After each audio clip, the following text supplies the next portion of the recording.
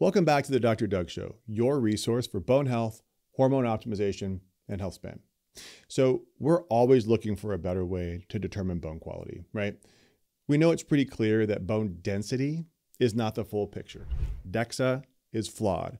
Quality is at least 50% of the picture, but how do you know your bone quality? We've talked about REMS. That's an option if you can find one or close to one. TBS is something that you can tack on to um, a DEXA and you can potentially get some benefit, but that has flaws too. So, isn't there a better option? Well, have you heard of Bone Score? I've had patients coming to me saying that they got a biopsy of their bone, and there's probably different ways to do biopsy depending on which academic center you go to.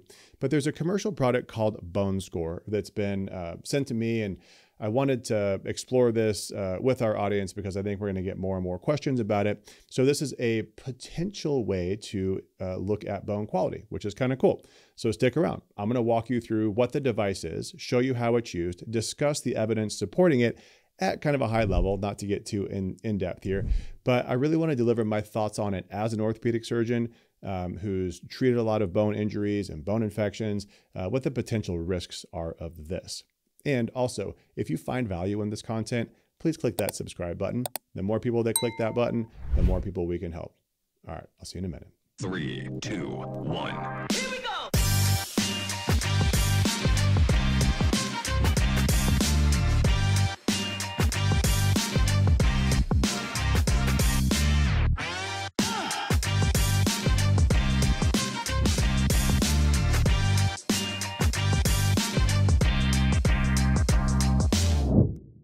So what is the Bone Score? Well, the Bone Score is a device that was developed uh, by a company that received FDA approval in 2021. So it hasn't been around very long in the United States, but it's been around in Europe for much longer. And it's kind of cool. They use a device that is essentially what they call an osteoprobe, and it measures bone mineral density, kind of. I'll walk you through what I mean by that. It gives you an objective score. And honestly, when I first saw it, I thought, man, this is pretty cool. So I went to their website and it's well designed. It's got data for patients, it's got data for physicians, it's got a whole bunch of research stuff, and it's got some videos on how it works. So I was super intrigued and I really wanted to bring this to our audience. So actually, let me just go ahead and show you how it works. And I think this will help to uh, lay the groundwork for what I want to show you later in the research. So we're going to go ahead and play this video here. And we're going to pick it up a couple of seconds in. All right, so what you're looking at here is that they are injecting some lidocaine around the skin. You can see they've marked their site. What they did there with the vertical lines was to mark out the front part or the anterior aspect of the tibia. They laid a sterile drape over it, and now they're going to uh, put a sterile um, kind of tube over the uh, probe itself. And she's wearing sterile gloves. And so now you can see that she's actually percutaneously going through what she anesthetized and she's putting the needle on the bone. So she's right on the front part of the tibia.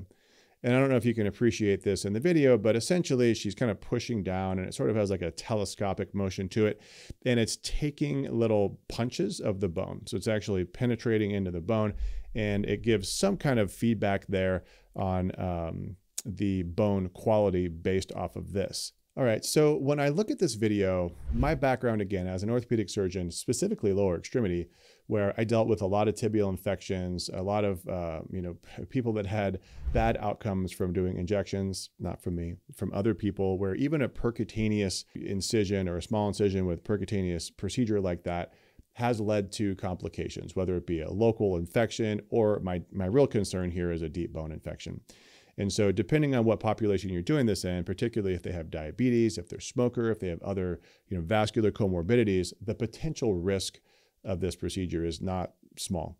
Um, in a young, healthy person, like they show in the video, probably going to be just fine but that person also isn't who you really want to screen for osteoporosis and bone quality issues. So I, I have some concerns there, and I've actually showed this video and, product to a couple of other individuals, and they've sort of felt the same way, where a little cringe-worthy to look at uh, the idea of sticking that into somebody's tibia. Um, but let's just assume that the risk isn't too high. So let's just put that on the shelf for a second. Let's actually look at how good is it at giving us additional information. So like I said, their website's great. It has fantastic research on it. There's a tremendous number of papers, mostly out of Europe, but that's okay. Um, tremendous number of papers looking at the device and how it relates to osteoporosis. So let's take a look at a few of these. All right, so I pulled this first study from their website, and this is a review study, and actually it's a, a systematic review of many studies looking at this particular procedure. So let's just go over a couple of the, the terms here. So they use the term IMI or impact microindentation. And what they're talking about here is that device and how it's when it telescopes down, it's actually indenting the bone. So it's actually, uh, you know, kind of punching a hole in the bone, seeing what the bone does in response, and it's measuring that. So that's kind of cool. They also talk about BMSI. So they're talking about bone material strength index, bone material strength index, BMSI. So this is what they're actually using as the term of quality. So they're they're saying that it's the material strength the quality of the bone is what they're actually trying to measure. So, what they go on to say in this systematic review is that the main outcome of the studies was not always concordant between studies, meaning that they weren't always showing the same thing. They didn't always show what the um, investigators were trying to show, meaning that not all the studies show that there was a benefit in using it. They also showed that there were a number of factors that impacted the BMSI, bone material strength index outcome you know, there's a lot of external factors that may have played a role in how this thing uh, performed. So then they go on to say that the systematic review does confirm that there's added value of the procedure for the evaluation and follow up of bone fragility, but particularly in secondary osteoporosis. So, secondary osteoporosis meaning caused by some other um, disease process, whether it be corticosteroids or thyroid dysfunction or parathyroid, whatever. So, secondary osteoporosis, maybe there's more value. But they said that the high variability of BMSI outcome between studies calls for more studies, basically, is what they said.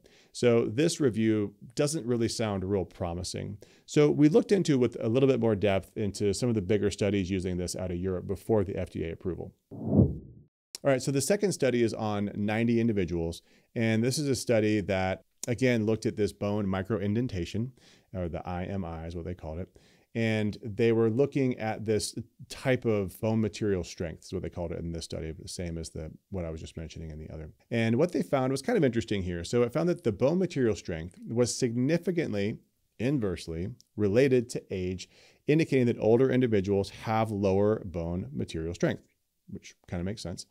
The study also found that there was no significant relationship between bone material strength and bone mineral density, meaning that they are measuring different things. So that I like. Bone material strength was also comparable in patients with osteoporosis and those with osteopenia, indicating it's relevant. And I agree that it's relevant, but I also don't like the fact that it doesn't necessarily tell between the two. But again, it's different than bone mineral density, so maybe that's okay. And then they go on to say that patients with a history of fragility fracture had significantly lower bone material strength compared to those without fractures. So it has the potential to identify individuals, individuals at risk. Now, I have a little bit of an issue with that statement because you could say that they're associated, but it doesn't actually show that it's predictive. And so we already know that they have low bone density if they've had fragility fractures. So that doesn't really help. The question is, is if you did this procedure and it was as low, have they not had a fracture yet? Or does it is it a lagging indicator, right? So is it a leading or is it lagging? If it's leading, meaning that this goes down and then you have a fracture, cool. But if it goes down only after you've had a fracture, it's not particularly helpful. They also found a significant association between lower material strength and higher odds of fracture independent of BMD. So now they're saying, well, it is potentially predictive.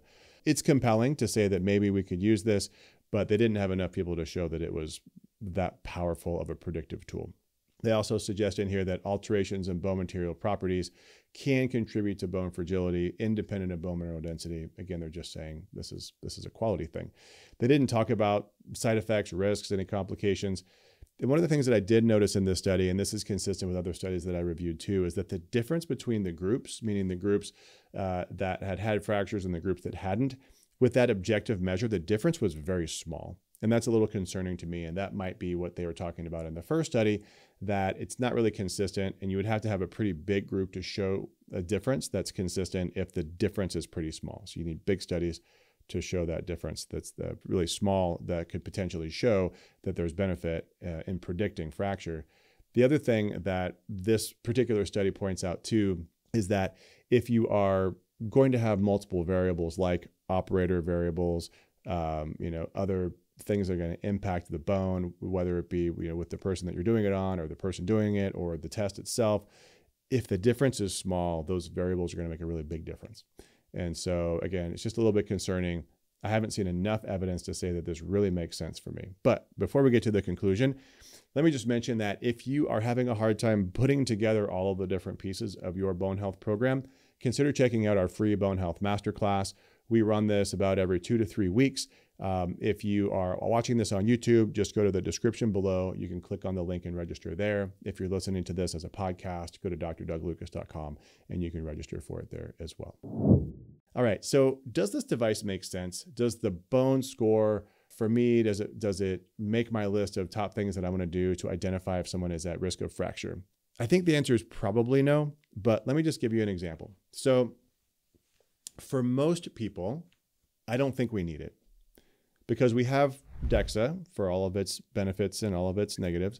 REMS is becoming more and more available. So we get a picture of quality there. And then ultimately, it doesn't necessarily change what we do. The only time I'm really using DEXA and T score and quality is deciding how aggressive we need to be.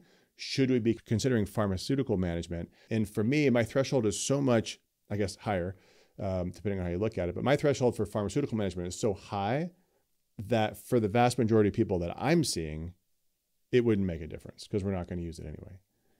It potentially could encourage us to be more aggressive with other things too, encouraging people to do more things. Um, but overall, I think that it's probably not going to be relevant for most of our patients. But I just had a patient this week uh, where maybe it would have made a difference. So let me just explain it. So this was a 63 year old patient, and she was really surprised when she got a DEXA and had a T score of negative five. That's super duper low. And she was even more surprised when she went to get her REMS and the T score on REMS was negative 1.3. And her fragility score was not terrible. So when I see these huge discrepancies, we don't really know which one to believe. Both REMS and DEXA have the potential for error. So which one's right? Maybe neither. Maybe she's somewhere in the middle. She did also, though, have a history of fracture, multiple vertebral fractures. So we know that probably the DEXA was closer to right than the REMS. And that's actually the first time I've ever seen that. So in this case, would the bone score have helped us to determine what to do? I don't think so. Because for her, we already know that she's had fragility fractures. She has very low bone density and, and she's at risk for a new fracture, right? So we need to be very cautious with her. We had a conversation around pharmaceuticals. She adamantly doesn't want to use them. That's why she's working with us. So would the bone score have changed that for me? Probably not right? If it says that it's low, that's not surprising. If it says that it's not low, also not surprising because we have tests on either side, but we're still going to do pretty much all the things that we're going to do for her um, outside of pharmaceuticals because she doesn't want to do it. Let's just use the same example, but then let's just take out the fact that she's had fractures. So let's say that this same person with very low T score on DEXA and, and not bad T score on REMS, let's say she hasn't had fractures.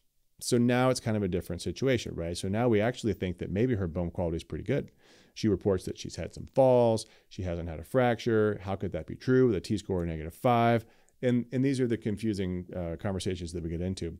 So in that case, would it make a difference?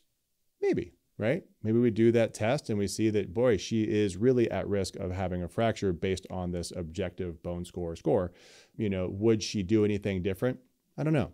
Uh, but that's a scenario where maybe it's an option. But again, as a surgeon who's treated bone infections, tibial bone infections are miserable for everybody involved.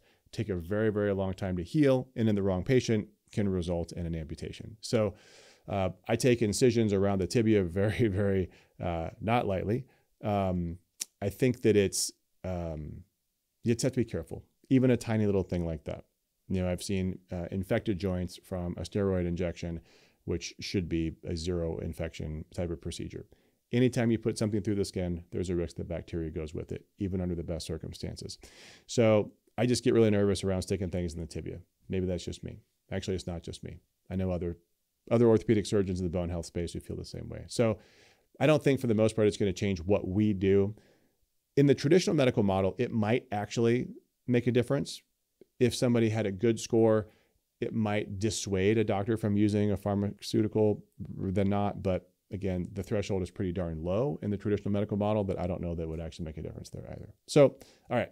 This video was a review of this thing called the Bone Score. If you liked it, you may consider looking at our video on REMS. You can look at that one here. Um, there's another video called Alternative Testing Options from DEXA, and you can look at that one here. Um, both of those will get you kind of further down the path of figuring out how bad your bone health is and other things you could potentially do outside of DEXA to measure both bone density and bone quality. So that's it. My friends, remember that you are created for greatness, so seek optimal, not average. Don't be afraid to be extraordinary because you are, and that's what it takes. I'll see you in the next video. This presentation is for general informational purposes only, does not constitute the practice of medicine, nursing, or other professional healthcare services, including the giving of medical advice. No doctor patient relationship is formed. The use of this information and the materials linked to this presentation are at the user's own risk. The content in this presentation is not intended to be a substitute for professional medical advice, diagnosis, or treatment. Users should not disregard or delay obtaining medical advice for any medical condition they have, and they should seek the assistance of their healthcare professionals for any such conditions.